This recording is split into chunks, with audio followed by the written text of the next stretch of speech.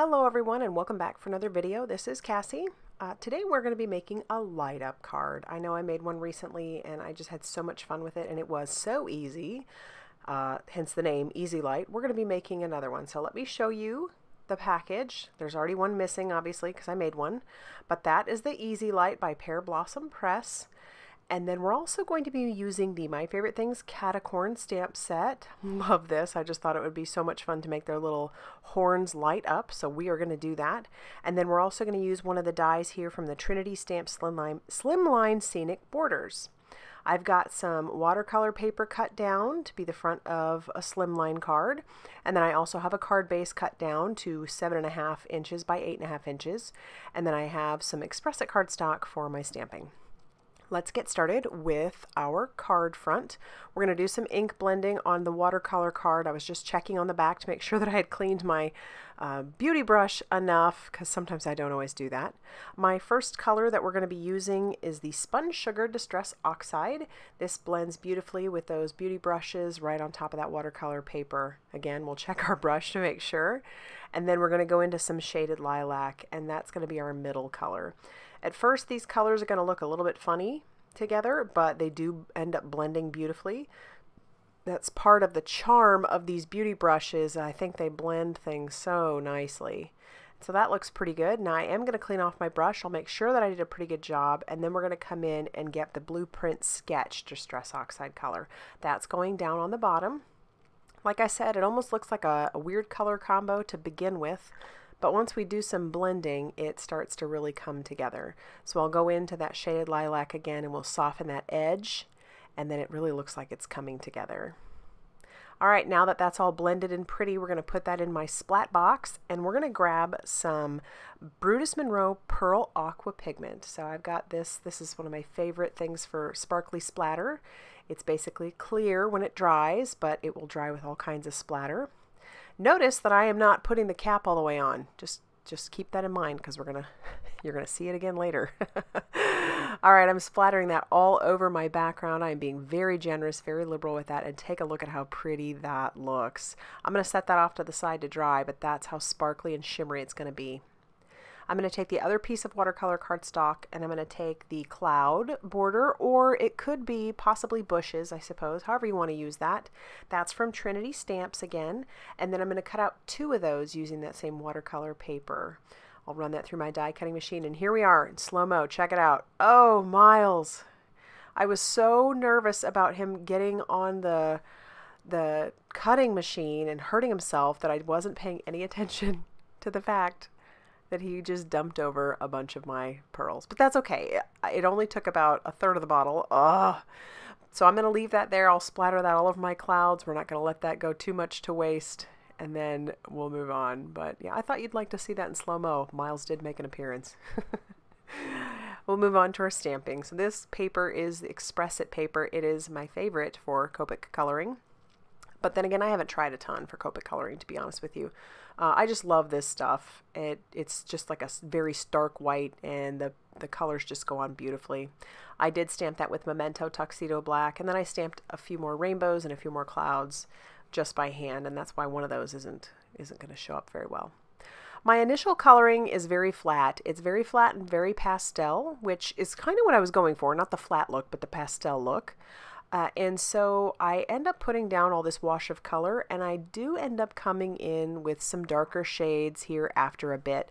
And the reason I do that later on is just because I realized I didn't want it to be so flat. I thought I could get away with that uh, and you could, but I really ended up just wanting some more color. So you'll see that later on. I don't remember if I actually show all the coloring, but I do show some of it. And so I showed you the colors up on the screen. I'll have them listed down below if that's something that you're interested in, in seeing. I'll have those listed in the description box so that you can, you know, take a look at those colors. But I basically just matched them up to the Distress Oxides that I used and then just kind of tried to grab colors that I thought would go well together in that rainbow order. So for the cloud, I'm just using some T1 just on the edges, and it looks kind of dark here, but it definitely softens out as it dries and it's almost not noticeable. There when I'm putting it on it is, but it does dry back a bit. And then we'll move on to coloring our first cat. All right, so while we're coloring, I am going to talk a little bit about my motivation for why I have this channel. Um, we're going to just, if you haven't heard the story before, there you go. But if you have, you can go ahead and fast forward on through.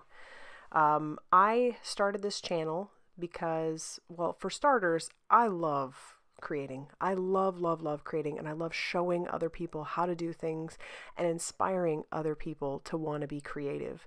Because I love it so much, I want you to love it so much. Not necessarily what I make, but I want you to love creating. I, I can't even describe just how much I love it and how much joy it brings me. And because I have so much joy in it, I wanted to share that. And I never really thought I could start a channel, but my son did encourage me to do it. Uh, and his leaving, his his leaving our home after he graduated high school was the real motivation that I needed because it was it felt like a little bit of an end of an era sort of and I knew that I needed a little something praise God, my daughter was still with us at that time. You know, she still lived at home and she still does now, thank the Lord, because she does help keep me sane for sure. Uh, but it, when he left, it was just re- really, really hard. I feel like all I've ever been has been a mom because I, I was a young mom um, at 22 years old, barely 22 years old. And so, he's been around for forever and when he encouraged me to do it i just decided to go ahead and give it a try and it has brought me so much joy. And I keep doing it because it brings me joy. I love the relationships that I've gained. I love sharing all of that with you all, and I love, um, I love hopefully inspiring. For me, it isn't about numbers. It isn't necessarily about being on design teams or getting free things, although those are nice perks. Um, but it isn't about the numbers I draw or any of that. It is about inspiring. And I really do hope that that happens. I hope that that causes you to want to be creative and to want to share your talents with the world. That has just been on my heart a little bit, and I just wanted to share that with you all so you knew where I was coming from. Okay, so let's get started with our mechanism. Uh, my Camera didn't want to work beforehand, so things are already attached. But let me show you. I already attached the mechanism down with some double-sided tape. The battery has a plus sign and a minus sign, and you just want to match that up and set that in, and then you press the purple button to make sure that your lights are working and they are. I, would already poked the holes uh, where I wanted my lights to be, and so when you know where you want your lights to be, go ahead and use some either some scotch tape. I'm using washi, washi's fine too, and I like to tape it right up to the edge. Now, Amanda, who owns Pear Blossom Press, she actually showed that you could use a clear scotch tape and you could tape right over the, the top of it and it won't move. But now that those are taped in place, I'll check it out and it looks pretty good. The rest of it's going to get pretty messy, only because and it doesn't matter where I actually tape down the rest of my my um, wires. It really doesn't matter. So I'm just going to use a little washi tape to just make sure things are out of the way and just tack it down. So it looks like a hot mess back there, but it does not matter. All right, I do want to make sure that I have plenty of room so that my mechanism isn't hit all the time. So I doubled up my foam tape and I'm using scotch tape. I do know that Amanda has some tape that would work perfectly so you wouldn't have to double it up in her store. And if I can find that, I'll link it down below. Not the store, but the, the tape. Uh, but I'm just using the double-sided tape and I'm putting it all around the mechanism itself. And then I'm also just going to make sure that I avoid the lights. But you can put it over the top of the wires. That's not going to bug it. So there we have it, and it still works perfectly. But I want my recipient to know where to push, so I've pulled out this Lawn Fawn stamp set called Push Here, and I'm just going to stamp directly over the top of where I would want the recipient to push. I'm just going to pull some uh, VersaFine Clair Nocturne ink out because I know it'll be a nice crisp black ink. And it usually always stamps pretty well even when I've screwed up and stamped last. All right, I'm noticing that my unicorn horns are not see-through, obviously. So what I'm going to do, you could easily just punch a hole, but I'm going to go a step further and I'm going to take my X-Acto knife and I'm going to cut right inside the lines of the outline of the horn and I'm going to cut it out. So I'll show you here what I mean in a second, but I'm cutting out the horn and that way everything's still intact except that horn piece is missing. And then what I'll do with that is I'll back it with a little bit of vellum. So here I'll show you what I was talking about. I just cut out the horn and if you have too many white lines you can use, you, use a black marker to get rid of that. So I'll take a um, glue pen and go around the outside of that, stick down my piece of vellum, and then cut off all the excess. And I'll do that for all three of the cats that I plan to have on the outside. There's one cat that's going to go on the inside. That one I'm not worried about, but the two that go on, or the three that go on the outside. I'm going to peel off all of my release paper, and I'll put this on the front of my slimline card. And there will be a little bit of a white border on the top and the bottom, which is fine. That's what I wanted. Uh, and this card folded will be three and three quarter inches by eight and a half inches. And now we're going to glue down all of our little pieces, making sure that those horns go right over the holes. So that way, when the mechanism is pressed, the horns light up, which is so cool. Um, but yeah, I'm having so much fun with this. I love, love it. And now I want to make everything a light up card. These are just so cool. We'll tack down our last rainbow. And then we're even going to put down some of the clouds that I had cut out, just a few of them. Not, we're not going to go too crazy with that. And then I finally remembered I should put a sentiment on there. So again, VersaFine Clair Nocturne ink, and it says, you're one of a kind.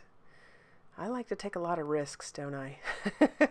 and the inside, we're just going to uh, glue down the three clouds along with that fourth and final cat. I don't put a sentiment on the inside.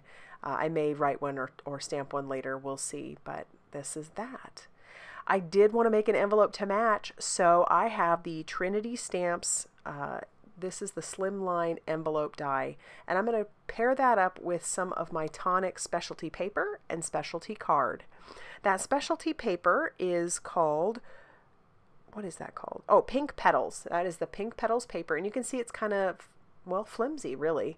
So this is one of those papers that I don't know if I would want to necessarily, you could send it through the mail, I think, just fine, as long as you're using a strong liquid glue, which is what I'm doing. I'm using the Tonic Deluxe, or Nuvo Deluxe liquid glue, and that stuff holds really, really well once it's dry. Uh, and this one I'm going to make is a side opener basically I guess that's what I'm going to call it so I cut out two of those little flaps those are my sides You've, if you've seen me make the envelopes before, there is another piece you can use for a top flap, and I do that for the purple uh, one that I show you. I don't show you how I make it, but I will show it to you. And then we'll just glue down all of our pieces here. But this card or this paper is a little bit flimsy. It definitely feels like like um, a really weathered paper. It's really cool. And then we'll put our last side flap on and then we'll start gluing those pieces together so that it actually looks like an envelope. But I wanted to make sure that everything was good and dry before I did that. But yeah, this is, if you're going to send it through the mail, you'd want to make sure that your address is probably either written with a Sharpie or you put it onto one of those address labels and maybe glue that down with extra glue just to make sure that nothing comes off. Or you could always just hand deliver it.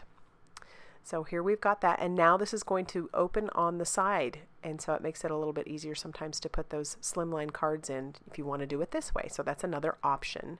But then I'm also going to bring in the Waves specialty card. Now this is card stock that Tonic has. And here is a top opening one. So there we have both of our envelopes.